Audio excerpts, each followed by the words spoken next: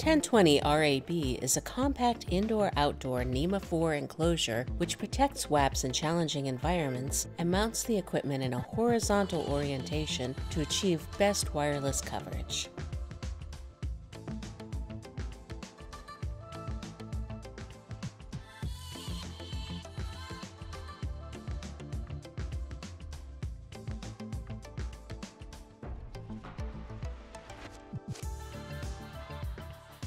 Cut or drill any holes needed in the enclosure for cable pass-through. Seal properly to maintain water tightness. Fasten the enclosure to the bracket using the provided screws with lock washers. The spacers and 20mm screws may be used for additional airflow between the enclosure and the bracket.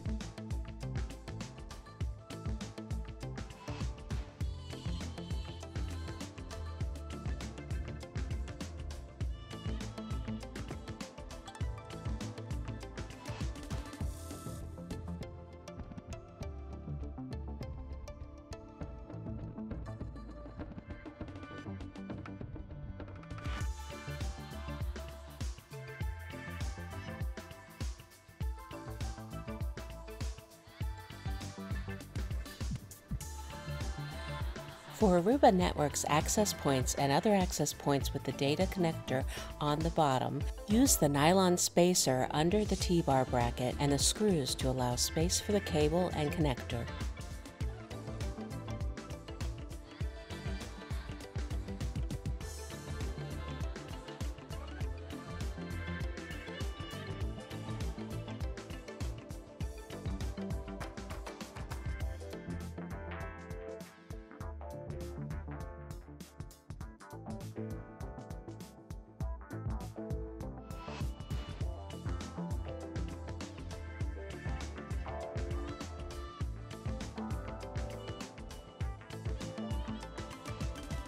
Place the bracket mount on the wall where it is to be installed, mark the screw locations, and secure the assembly in place.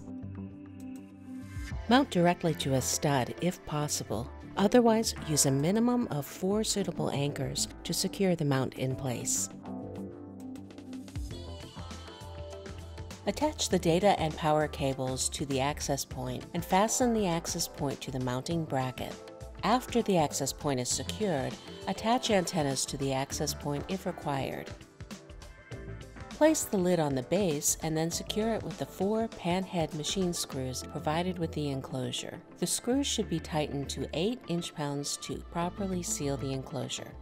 Do not over-tighten. Make sure the gasket is properly sealed prior to tightening. The installation is now complete.